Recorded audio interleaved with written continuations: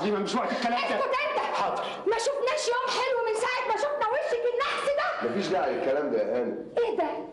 إيه الشيء ده؟ انت مين يا أستاذ؟ وتتدخل في شؤوننا ليه؟ أنا كلمتكم بالتليفون علشان تيجي تطمني على ابنك مش علشان تهبشي فيها. أهبش؟ إيه الألفاظ السوقيه دي؟ سامع يا عبد الحميد؟ أنا عظيمة هانم ابقى هبشه وأنت ساكت؟ يا عظيمة إحنا في إيه ولا في إيه دلوقتي؟ لما يقوم ماجد بالسلامة أنا هعرف أعلمكم الأدب أنتوا الاثنين بعدين هبقى جد. يا ما انت كريم يا رب. إيه ده يا عبد الحميد؟ هفضل أعلمك لإمتى؟ بقى أنت فرحان ما أنتش حاسس بالوكسه اللي إحنا فيها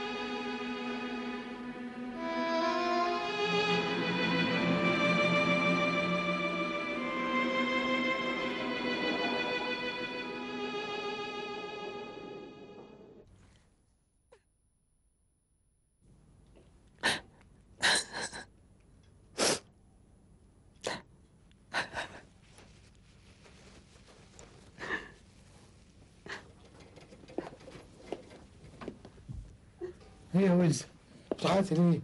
واللي رجعك من الشغل بدري؟ ابدا يا بابا صاحب المحل رفضني رفدك؟ رفدك ليه؟ أصله طلبني للجواز ولما رفضته راح رافضني هو ماله يا بنتي؟ مش جايز يطلع راجل صالح و ده يا بابا متجوز وكمان أكبر مني بأكتر من عشرين سنة. آه إذا كان كده بقى يبقى عندك حق.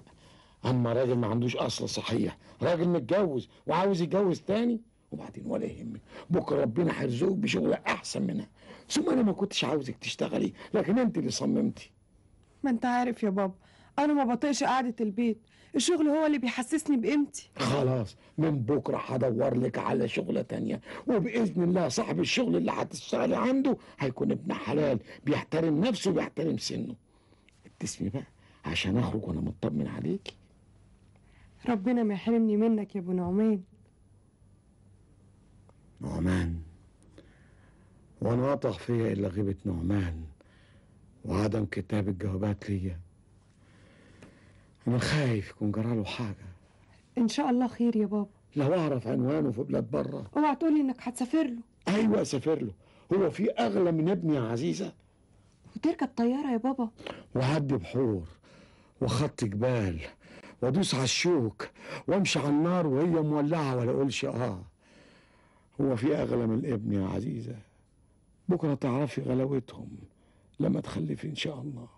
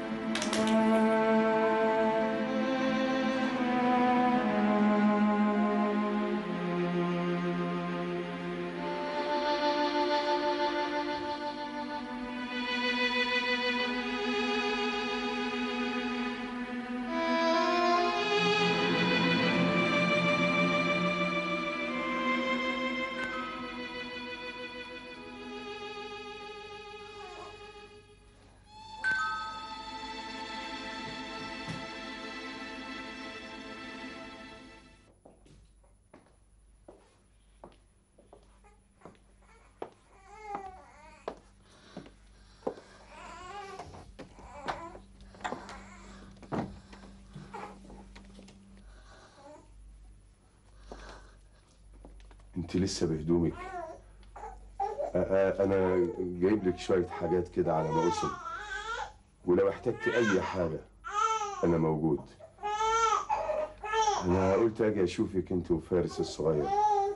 وأطمن عليك. كتر خيرك يا أستاذ فارس.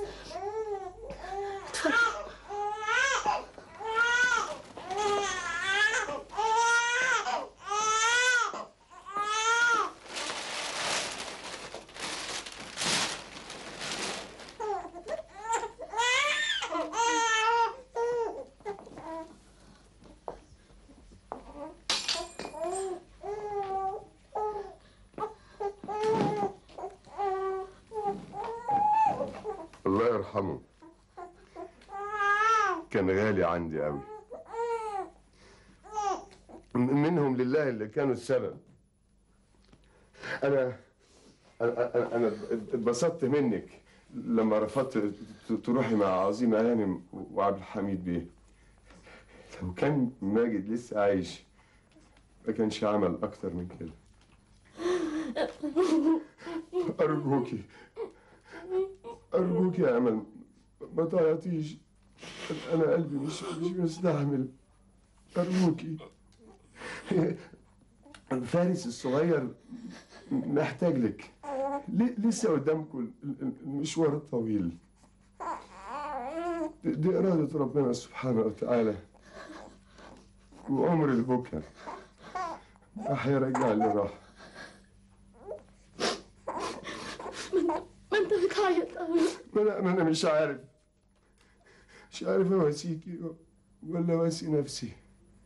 أعزيكي ولا اعز نفسي. أنا بعيط على عياطك. ارجوكي كفاية. ارجوكي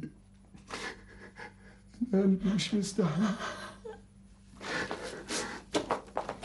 فارس تعال يا حبيبي. تعال تعال يا حبيبي. خلي بالك من ماما يا فارس. ها؟ انت معاكي فارس؟ راجل. ماله هدومه. شفت ماله هدومه إزاي؟ عايزاك ت... ماما عايزاك تبقى راجل. راجل بحق وحقيقي. راجل ما تخافش. ما تخافش إلا من اللي خلقك وبس أيوه. عايزاك تبقى تبقى قوي. تعرفش الكذب واللوع عايزاك تدوحر وتقاوم. تبقى زي السيف. تفصل ما بين الحق والباطل. تنصر المظلوم وتبقى قوي على الظالم.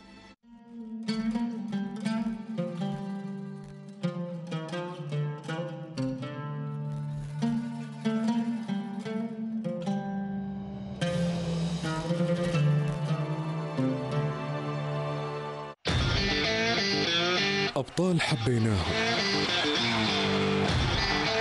وكانت المواجهة بالحلبة بينهم حتمية. فنون قتالية. وحركات قوية ما ننساها. تشعل الحماس فينا.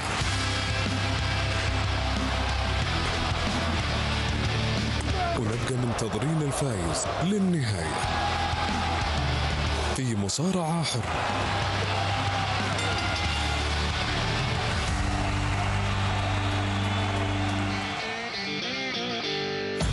مصارعة حرة.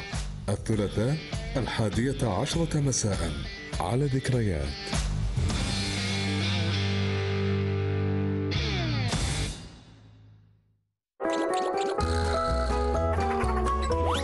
فصائل وأنواع حيوانات غريبة عجيبة. You think of emergency vehicles.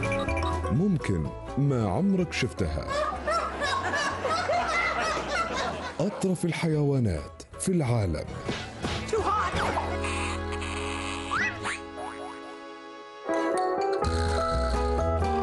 أطرف الحيوانات في العالم. السبت الثامنة مساء على ذكريات.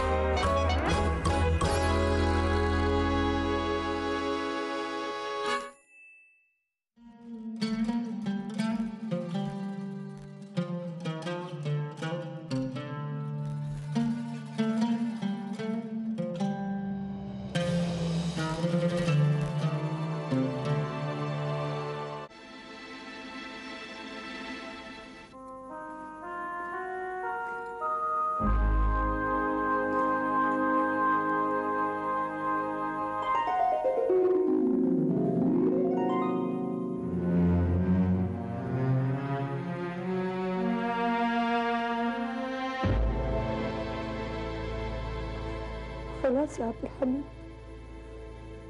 هانت عليك العيشة زي ما هان عليك ابنك ضناك الأعمار بيد الله. ونعم بالله. أنا كل اللي عايزة أعرفه. أنت هتروح فين؟ أنا رايح أعيش مع حفيدي. ابن واجد أمه. أم أولى برعايتي.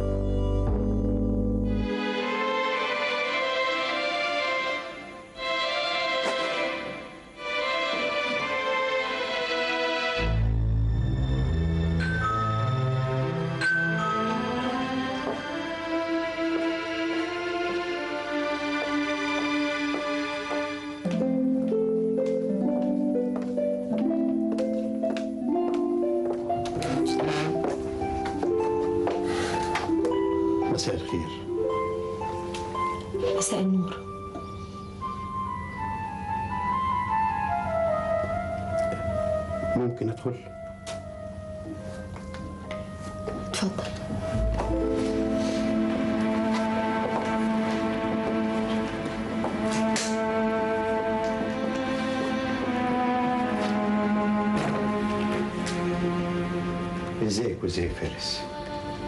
بخير. شوف يا بنتي.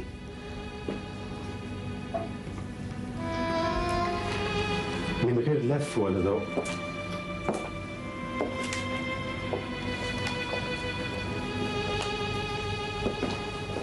من غير لف ولا دوران. وده بعد إذنك طبعا. أنا هاخدك بكرة الصبح وننزل نشتري شوية عفش للشقة دي. علشان نويت أعيش هنا جنب حفيدي. أنا مش محتاجة عطف من حد.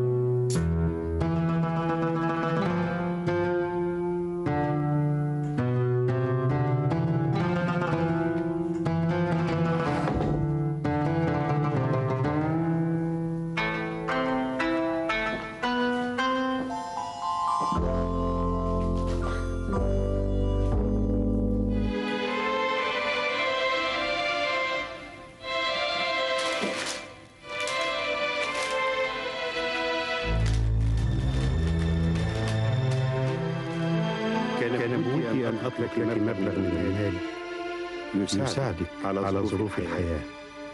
لكن أمام رفضك السابق أصرت عدم تكرار المحاولة. ومع هذه الرسالة عقد تمليك الشقة فهي هي من حقك بعد وفاة صاحبها.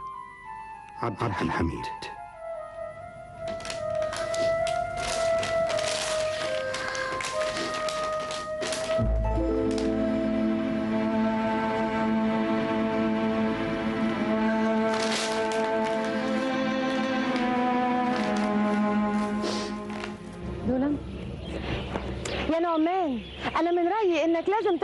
نفسك شوية من الشغل.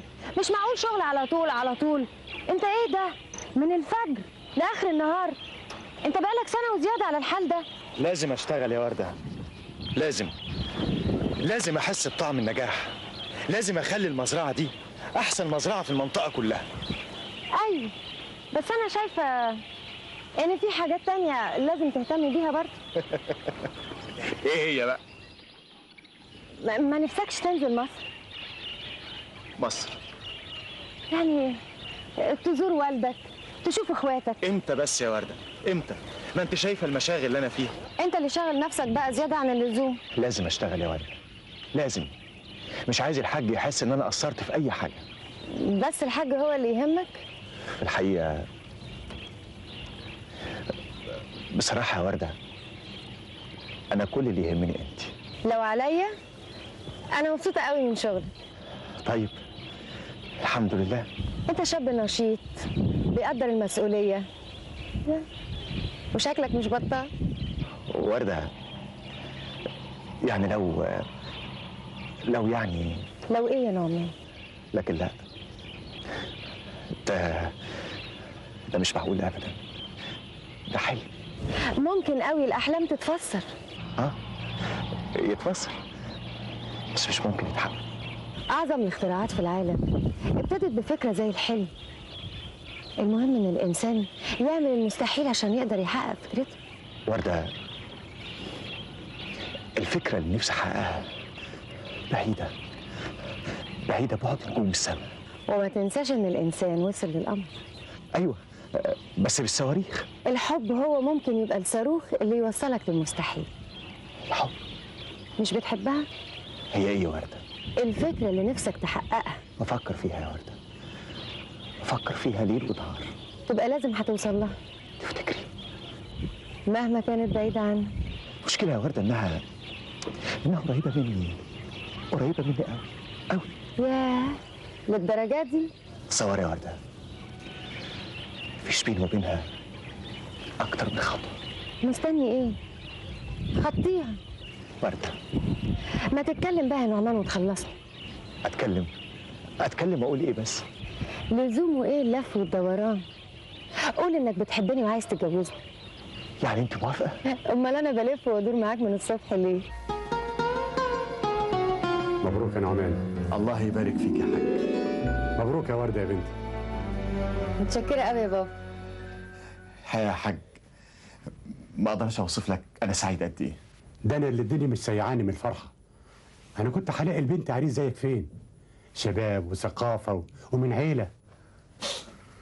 بس إحنا لحد كده ولازم نقف. نقف؟ تقصد إيه يا حاج؟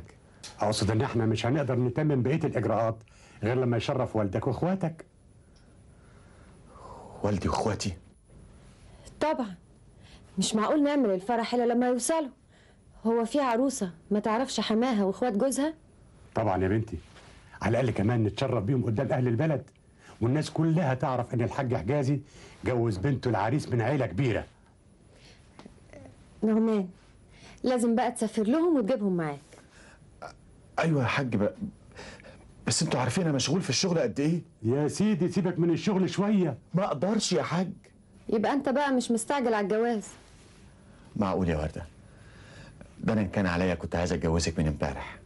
أمال إيه بقى؟ ليه مش عايز تقول لهم هقول لهم يا وردة. هقول لهم. لا تقولوا ولا تعيدوا. ده عبث. ده عدم تقدير المسؤولية. سنة بحالها مش عارفين تقبضوا على المجرم ده. يا فندم إحنا بذلنا أقصى جهدنا. والصورة اللي رسمها الرسام اتوزعت على كل أقسام الجمهورية. أنا عايز نتيجة. أنا عايز أشوف المجرم ده مقبوض عليه. فتشوا في كل مكان. الوزارة مقلوبة عشان المجرم ده. تمام يا فندم. في إيه يا شريف؟ امبارح قبضنا على راجل من رجالة الوحش يا فندم. وبعد ما حققنا معاه قدرنا نعرف اسم الوحش. اسمه إيه؟ فارس أبو زيد الهلالي يا فندم. أنا عايز أشوف الراجل ده فورا. للأسف يا فندم انقتل النهارده الصبح يا فندم في الحجز. إيه؟ اتقتل؟ فندق اوعى تضعف يا فارس وتقدم تنازلات. أمل. خلي فارس يكبر. يبقى راجل. ما تخليهوش يضعف وإلا هيبقى عايش على هامش الحياة. لازم يبقى سيف. سيف مسلط على الباطل. لازم يبقى راجل. يقف دايما مع الحق. علشان الإنسان يبقى إنسان. والحياة تبقى حياة.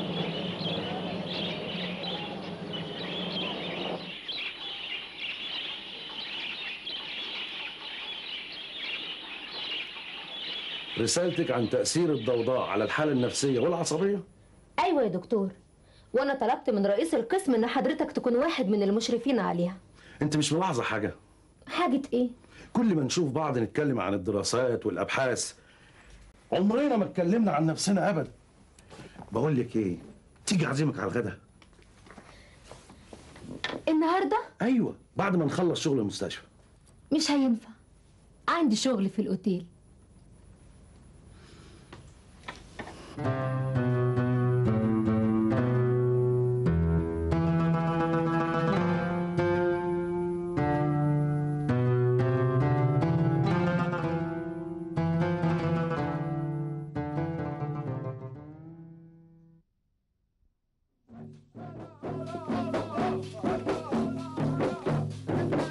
روقانك. طبعا تبص في المراية فرحان بشعرك قوي. وسايب الأستاذ. بيته يا عواطف هو حر فيه. بيته ما هو بيتنا إحنا كمان. هنفضل ساكتين كده يا حبيبي على الخط والرق يا عواطف لكن لكن إيه؟ أظن هتسكت زي كل مرة. لا مش هسكت يا عواطف بس قولي لي يعني أعمل إيه؟ أدور فيه ضرب؟ تروح القسم تبلغ البوليس. لا لا. بلاش الاسم ما أقدرش أروح الاسم برجليا يا فارس يسمعك بتقول كده يا حبيبي يقول إن أنت مرتكب جناية. هو أنت مش خلاص اتعالجت من عقدة الخوف اللي عندك دي؟ أيوه. بس مش عارف. بخاف من البوليس ليه؟ تعرف عاطف أنا بيتهيألي ان إن دي عقدة عندي من وأنا صغير. إزاي يعني؟ أيوه صح. طول عمري من وأنا صغير وأنا بخاف من البوليس علشان أمي. أمي كانت تقول لي لو ما نمتش هجيب لك يا عسكري. بس أنت خلاص يا فارس. كبرت دلوقتي يا حبيبي وبقيت كبير. ما انتش عيل صغير. وبعدين شوف يا فارس لك لو ما رحتش انت البوليس أنا هجيب البوليس هنا. هنا؟ أيوه هنا. هرتكب جنايه في متولي ورجالته. واستلقى وعدك بعد كده يا فارس. لا لا. مفيش داعي. مفيش داعي. بس مفيش. هي طريقة تانية غير إن البوليس يجي هنا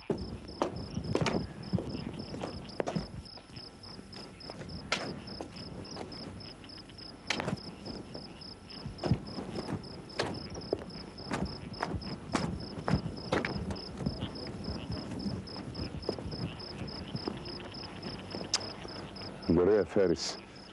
هترجع لعقدة الخوف تاني. خليك شجاع. لازم تخش تقابل. أيوه. لازم أخش أقابل.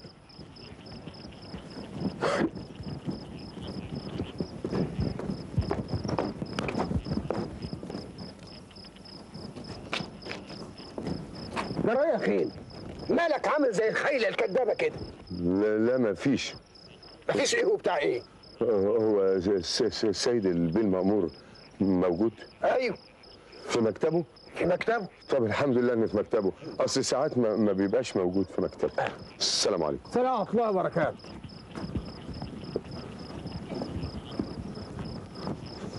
بعدين يا فارس ما هو موجود في مكتبه؟ أيوه.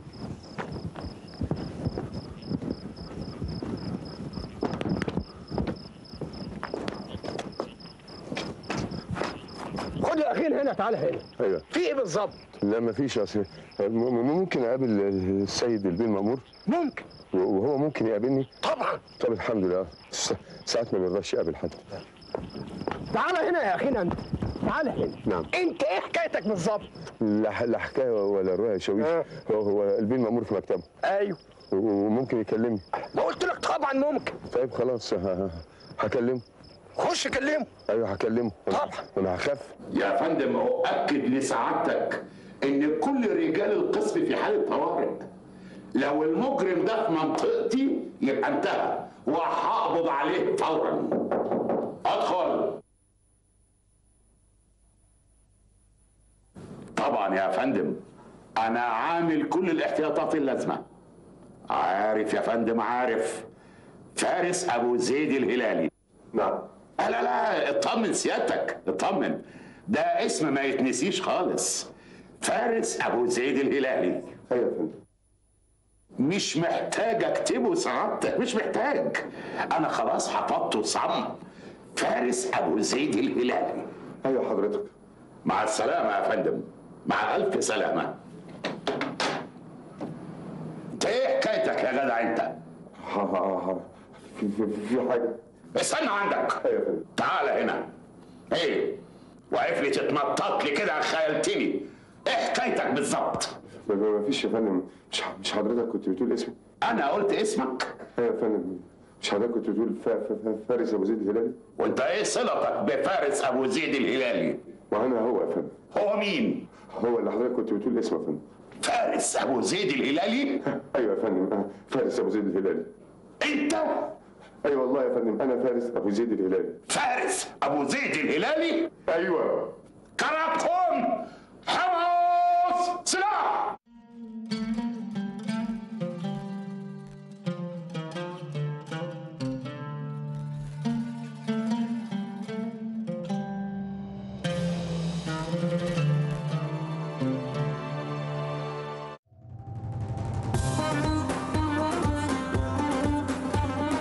جامعة البترول والمعادن في الظهران.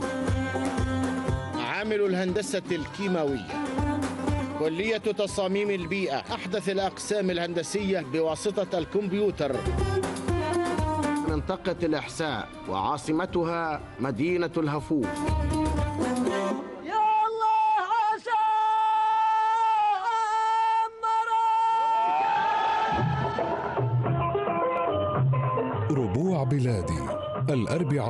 السابعة والنصف مساء على ذكريات.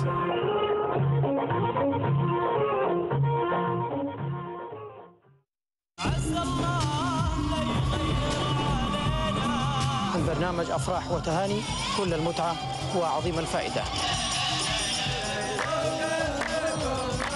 مشاركة فيها آه، تجسد أسمى معاني الحب والإخاء بين أفراد المجتمع الواحد.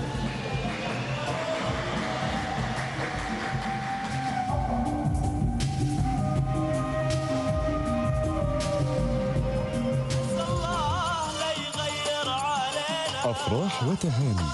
السبت الحادية عشرة مساء. على ذكريات.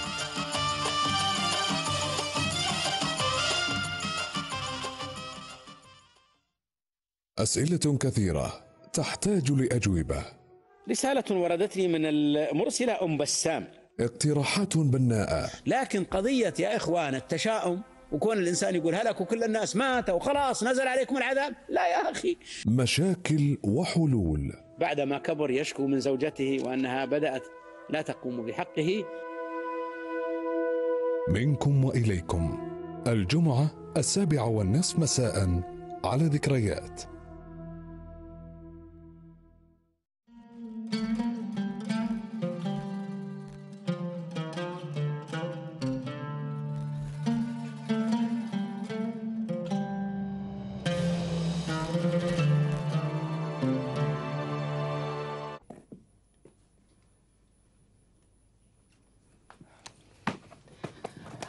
يا ماما. فارس اتأخر قوي. هيروح فين بلا خيبة؟ ده زي القرش البراني. يلف ويرجع لصاحبه. أنا أنا قلبي مش مطمن. خايفة لا يكون جرى له حاجة. اللي زي ده يجرى له إيه غير الجنان والدهولة اللي هو فيها دي؟ لا أنا هغير هدومي وأنزل أسأل عليه في الاسم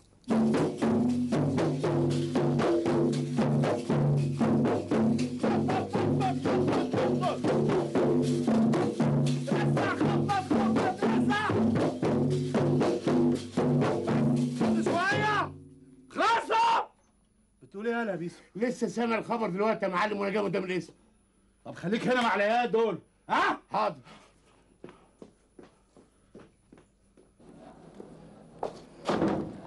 عاطف هاني عوض فهمي لا بقول لك إيه اسمع مالك يا معلم مش عشان يعني رفضت اسمع كلامك ورجعت لجوزي تقوم كل شوية بقى عواطف هانم عواطف هانم عواطف هانم مش معقول يعني. سيبك سيبك من الموال ده كله ده خلاص راح لحاله.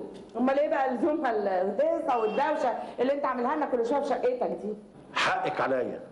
أنا محقوق لك ومحقوق لفارس بيه وكامل باشا أخوه. إيه حكايتك. باشا وبيه. إيه الحكاية بالظبط؟ أنت رايحة له الاسم؟ أيوه. وانتش عرفك إنه في الاسم. آه. وفي حاجة بتستخبى؟ طب و... وتعرف بقى هو راح الاسم ليه؟ طبعا. دي الدنيا كلها عارفة. وعشان كده أنا كمان هروح له الاسم. وأنت بقى تروح له يا سيدي المعلمين بمناسبة إيه؟ أخويا وحبيبي وعايز أقوم بالواجب معاه. يا سلام! هتعمل معاه واجب عيني عينك كده في الاسم؟ وفي وسط الشارع وقدام الدنيا كلها. لا ده انت راجل رامي جتتك بقى. أنا عشان خاطر حبيبي فارس أعمل أي حاجة. أي حاجة؟ ماشي يا معلم.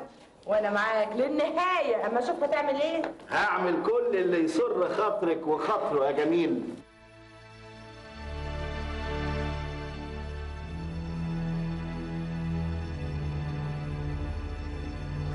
ترى هيعملوا فيك إيه يا فارس؟ يا ترى هيوصل الموال ده لفين؟ آه كان عندك حق لما تخاف من الاسم والبوليس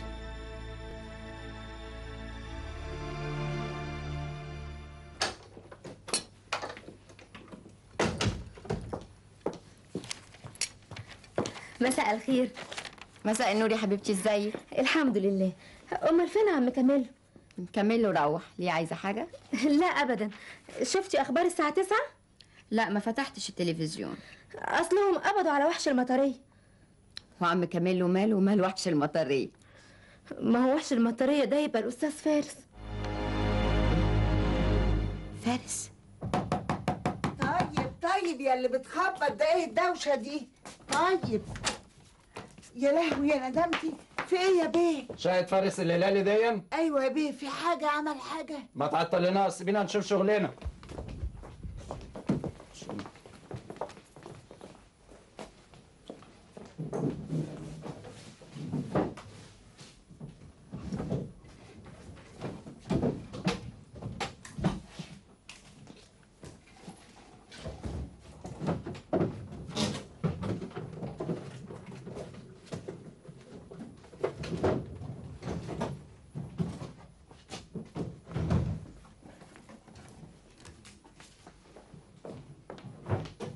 يا بيه يا بيه. أنتوا بتفتشوا على إيه يا بيه؟ ها؟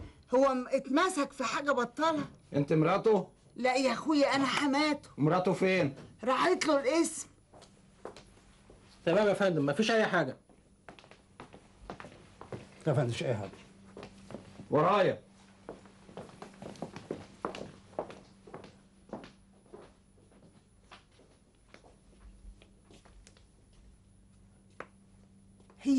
العباره يكونش المخفي بيتاجر في المخدرات. يا ناس يا علم اللي هنا.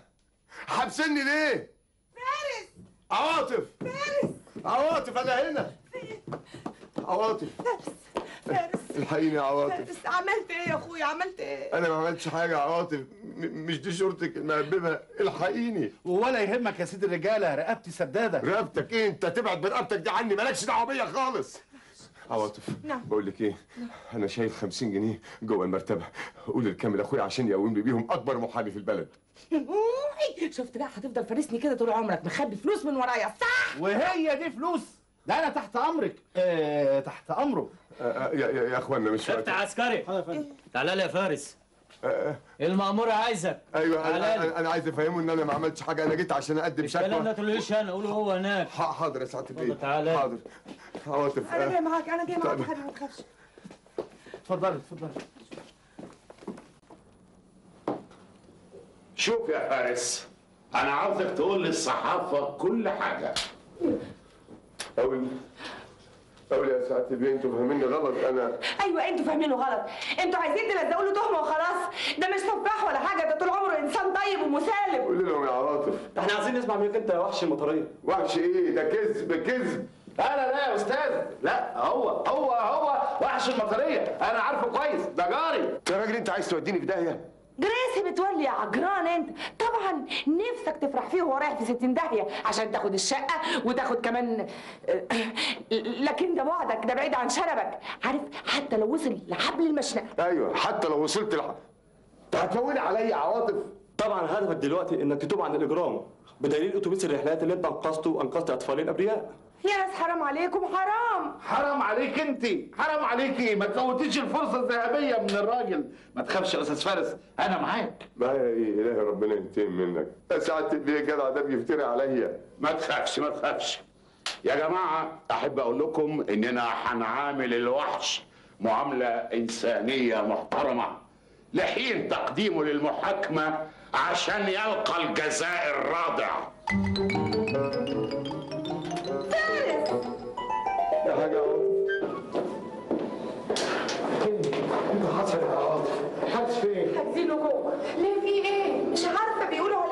المطريه إيه الكلام الفارغ ده؟ بقى فارس الطيب الغلبان يقولوا عليه مجرم. إيه اللي جرى في الدنيا؟ أنا بقول لك إيه؟ روح انت يا عاطف وتعالى نطمن على فارس. عايز تعالى يا بنتي. استنى يا ست ستات انت زعلانة ولا إيه؟ ولا زعلانة ولا فرحانة. وكفاية البلاوي اللي طلعت من بقك جوه أنا هفهمك كل حاجة وإحنا مروحين. أنا هروح لوحدي مش عايزاك تروح معايا. ماشي؟ استهدي بالله. بقول لك إيه حل عن سمايا بقى. أنا هفطمك على العبارة كلها بس. يلا بس ما تخليش دماغك ناشفة. يلا اتفضلي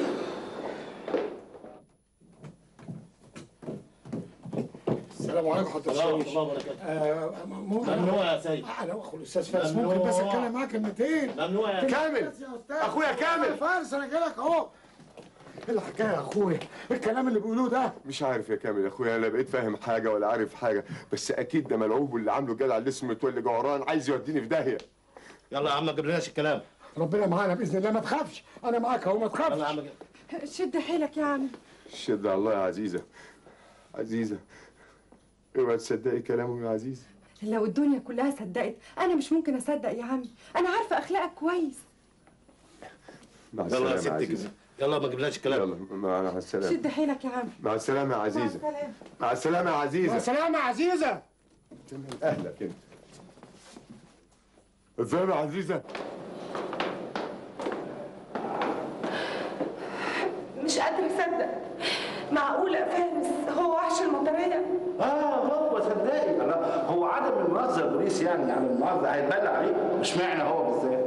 ما أنا قلت لك يا ست عوار يا ست الستات سيبك منه وجوزيني أنا بلا وجع دماغ. ده أنت مش وش بهدلة. نعم بالمعروف يا معلم مش وقت كلام دلوقتي. أنا عايزه بتقولي مين؟ الوحش. جوزك. تصوري يا ماما انهم انهم بيقولوا عليه كده؟ والعشرة الطويلة دي كلها ولا كناش عارفين حقيقته؟ إيه يا ماما؟ انت كمان صدقتي؟ ياما تحت السواهي دواهي. سواهي إيه ودواهي إيه؟ ده فارس فارس يا ماما. ممكن يتجنن ممكن مخه يضرب انما فارس اللي انت عارفاه كويس مجرم وسفاح وخطير. ما هو ده اللي ملخبط نافوخي لا أنا ما أنا مش مصدقة طبعا. ليه؟ مش مصدقة اللي بيقولوا عليه ده خالص. ليه يا أختي؟ مش كان بيخرج بالليل؟ أيوه بيخرج عشان يتمشى. ده الكلام اللي بيقوله لنا لكن شوفي كان بيعمل إيه من ورانا ده مجرم خطير سفاح. مش فاكرة لما كان عايز يذبحني؟ لا لا لا. الموضوع غير كده خالص. هم بيقولوا إنه كان مسافر. والبوليس بيدور عليه. فارس عمره ما سافر. العصابة يا حبيبتي ما هو راجل مجرم خطير زي ده. لازم له عصابة تشتغل باسمه بتوكيل يعني.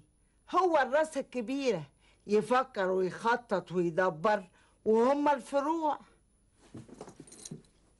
لا لا لا لا أنا مش ممكن أصدق اللي بيتقال عليه. ده ابدا ابدا ابدا. يا أختي ليه بلا خيبة.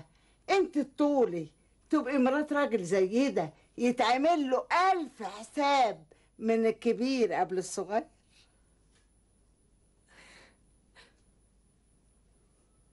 فارس. الكلام ده مش معقول ابدا ومفيش حد عاقل في الدنيا ممكن يصدقه. أنا عارف يا حبيبة يا بنتي وكل اللي عارفين فارس متأكدين إنه مش ممكن يكون هو. بس اللي مجنني اشمعنى فارس اللي يشكوا فيه؟ أكيد في سوء تفاهم في الموضوع.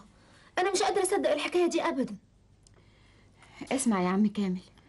أنا مش هسيب فارس ابدا ومن بكرة هرجع للمحاماة وهدافع عنه. مفيش داعي يا حبيبة. ليه يا مديح؟ القضية دي قضية كبيرة ومحتاجة لمحامي كبير. وهو أنا صغيرة؟ لا بس أنت بقالك 8 سنين ما وقفتيش قدام قاضي وزمانك نسيتي المحاماة. وبصراحة بقى إحنا مش مستغنيين عن الأستاذ فارس. القانون ما بيتنسيش يا مديح. هي دي ثقتك فيا اخصى عليكي. دي بتهزر معاك يا حبيبة. آه أنا موافق. وأنا هلاقي محامي يدافع عن فارس أحسن منك يا أستاذة. خلاص يا عم كامل. من بكرة هروح النيابة وهقابله وهعرف كل حاجة عن القضية. قد تمكنت قوات الشرطة من إلقاء القبض على الوحش والذي يدعى فارس أبو زيد الهلالي. والذي أثار الذعر منذ عامين وحتى يومنا هذا. معقولة؟ عم فارس فارس أبو زيد الهلالي هو الوحش الحقيقي. هو المجرم الحقيقي. اللي مدوخ وراه البوليس لحد دلوقتي. مش مصدق. هقول لوردة وباباها إيه دلوقتي؟ حتى لو طلع بريء العيار اللي ما يصيبش يتوش. هتجنن هتجنن. ما صدقت سبتهم. مشاكلهم ورايا ورايا. مالك يا نعمان؟ لا يا حاج. مفيش أي حاجة أنا أنا بس حاسس إن أنا تعبان شوية و... وعاوز أنام بس. مش لما نتعشى الأول؟ معلش يا وردة أنا أنا ماليش نفس. هنزنكم